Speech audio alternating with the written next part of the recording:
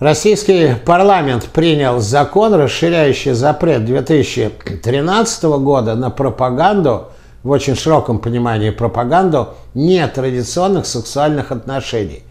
А вот в 2013 году запрещалась пропаганда в отношении несовершеннолетних, пропаганда альтернативной сексуальности, искусственного изменения пола. Эти понятия объединялись с педофилией, а сейчас запрет распространили уже и на взрослое население.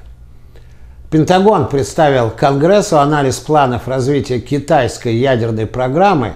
Согласно докладу, в настоящее время у Китая в районе 400 ядерных боеголовок, а к 2035 году количество стратегического ядерного оружия у Китая должно увеличиться почти в 4 раза до полутора тысяч боеголовок. И таким Э, такими же являются и ядерные силы США и России, ограниченные договором по ОСВ. То есть через 13 лет Китай в ядерном отношении сравняется с США и Россией.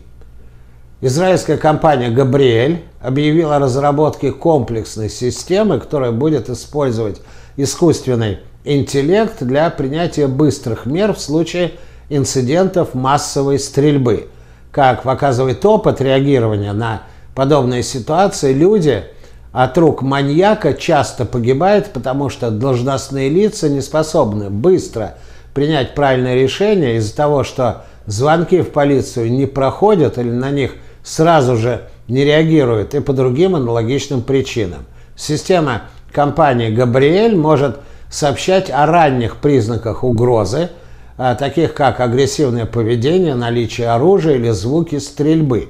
Как только угроза массовой стрельбы замечена и подтверждена, система начинает автоматически рассылать предупреждения, звонить в органы поддержания правопорядка и предпринимать другие срочные меры. Система компании «Габриэль» — это не только компьютеры с искусственным интеллектом, но множество датчиков, видеокамер, другой аппаратуры, которая устанавливается в учреждениях, находящихся под ее защитой. В Америке с, начала нынешнего года было уже 46 случаев стрельбы только в школах, в результате которых имели место ранения или убийства.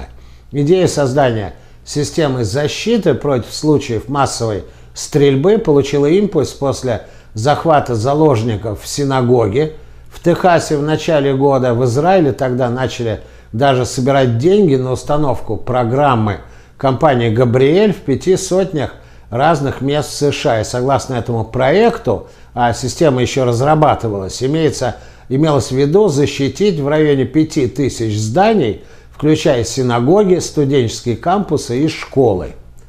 В следующей части о том, что в Нью-Йорке будут госпитализировать психически нездоровых в принудительном порядке. Оставайтесь с нами.